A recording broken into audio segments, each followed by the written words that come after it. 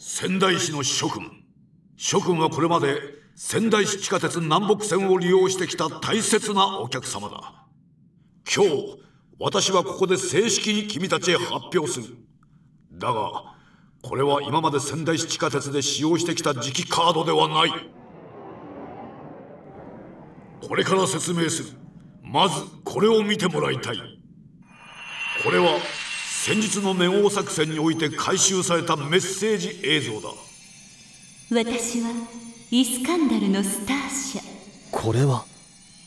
あなた方の仙台市地下鉄は今まさに仙台市交通局の手で生まれ変わろうとしています。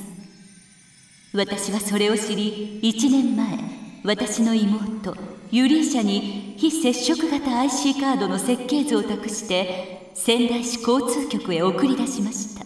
火星で見たのと同じだ。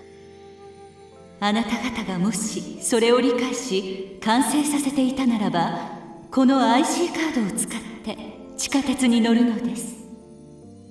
この IC カードの機能には定期券としても利用できるほか乗車回数や金額に応じてポイントを貯められるシステムがあります。なんだって？残念ながら私はこの IC カードの魅力を伝えることはもうできません。今回新たにこの IC カードシステムの詳細をもう一人の妹サーシャの手で仙台市交通局のホームページへと送り届けます。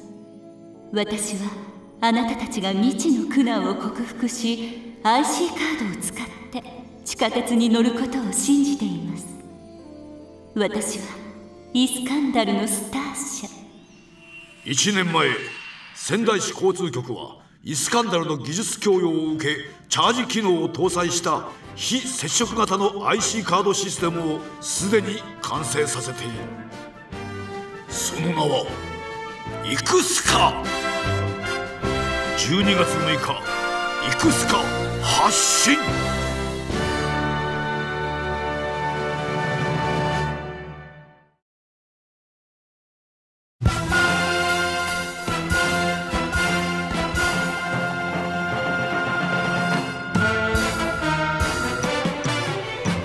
ヤマトガトランティスそしてガミラス。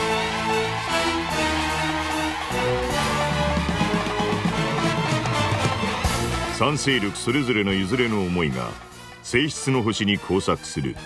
2199年ヤマトに迫る最大の危機。